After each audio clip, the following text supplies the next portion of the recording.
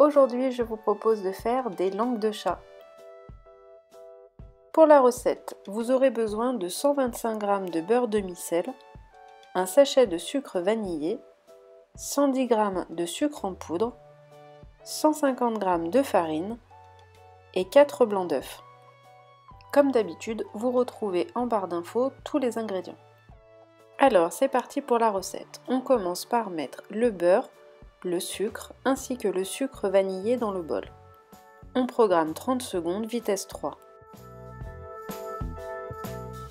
À la fin des 30 secondes, ajoutez votre farine et programmez de nouveau 30 secondes vitesse 3.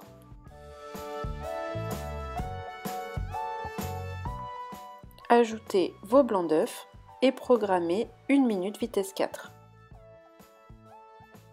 Et voilà, c'est déjà fini. Donc vous voyez, c'est super rapide. Il suffit maintenant de mettre notre pâte dans une poche à douille. A l'aide de la poche à douille, il faut faire des petits boudins d'environ 6 cm sur une plaque de cuisson. Il faut bien les espacer parce que du coup, pendant qu'ils seront au four, ils vont un petit peu s'étaler. Il faut les faire cuire 10 minutes à 170 degrés. Après, bah, c'est à chaque fois euh, la même chose pour les petits gâteaux comme ça, ça dépend de vos fours. Donc il faut bien surveiller la cuisson. Ils sont cuits dès que les bords deviennent un petit peu plus colorés.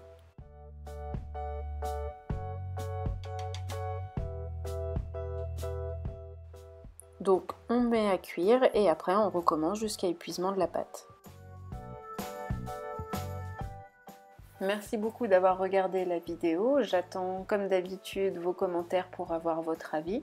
Si vous n'êtes pas encore abonné à la chaîne, vous pouvez le faire en cliquant sur le lien qui apparaît juste ici. Et moi je vous dis à la semaine prochaine